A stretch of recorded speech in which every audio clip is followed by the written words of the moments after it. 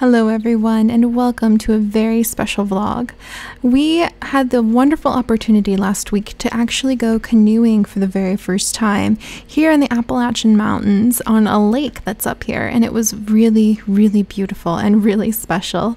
Thankfully, my boyfriend was very understanding at me having my camera out half the time. He took control of the canoe and let me get a lot of beautiful footage for you guys.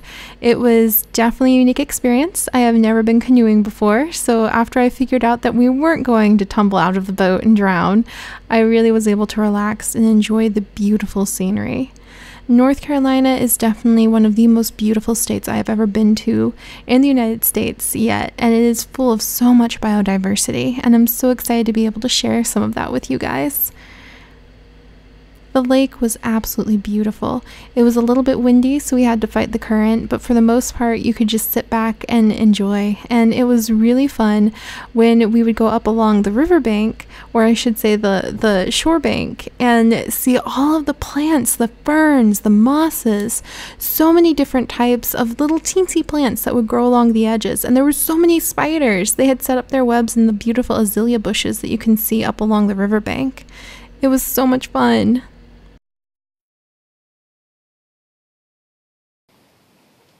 Yeah, but what are they, do you think? I have no idea. Should we take one as an example? A specimen? Specimen collecting? Uh -huh. oh, beaver. Beaver? Oh, yep, it's a Labradorius beaver. Or did you get a specimen? Darla? Yep.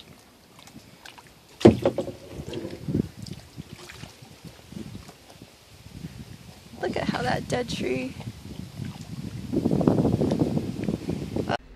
But probably the most exciting part of the trip had to be when I looked up from having just collected that specimen and there was a blue heron just walking in the water in front of us, it had blended in so well with the shadows that even though we were only about 10 feet away from it, we really hadn't seen it at all. And after we saw it, it was really fun. We kind of put our canoe up a little bit closer to where it was and tried to get a better view of it. And he was just, you know, not bothered, just ignoring us. When we managed to get close enough, though, we could see that it was definitely actively hunting for the small fish that these blue heron really enjoy eating oh, it was so much fun watching him dive and to try to get in at the little the little fish and the little creatures that were down uh, along the riverbank. It was really shallow, so it was probably a great place for him to hide kind of under the trees, hold very still, and then try to make a quick dive so that he could get some prey. He didn't really like it when we got too close, though, so he flew off to the other side of the lake, uh, and we kept just kind of following him. And eventually, he like got up and like flew really far away. So he was done with us, and we decided not to pursue him when we saw him later because we wanted him to be able to get his food. And if a canoe comes along, it's going to chase away all the little fish and frogs that he'll eat.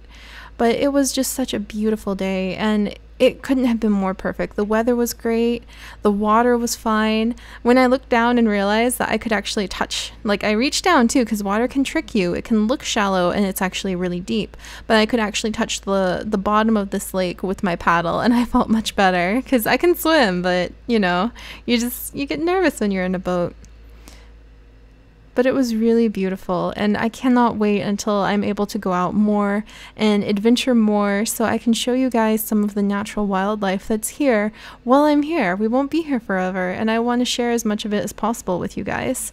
Um, it was just it was so nice. And when you have a passion for the natural world, sometimes it's really hard, especially when you live in a city, to remember to go out and get into the woods and get out in the mountains if you happen to live near them, on the beach, wherever it is where you can have a few minutes of that connection, the unspoiled connection where there's not other people, there's not the sound of cars, there's nothing except just you in nature and you can sit in it for a little while and just rejuvenate. At least that's what I need. I know that I really needed this day, especially to feel so out in the wild, out on the middle of the lake.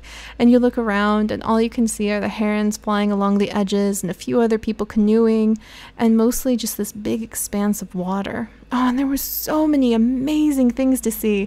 All of the different like logs that were floating by, all of the grasses that would grow on a dead log that was just like stuck in the middle of the lake.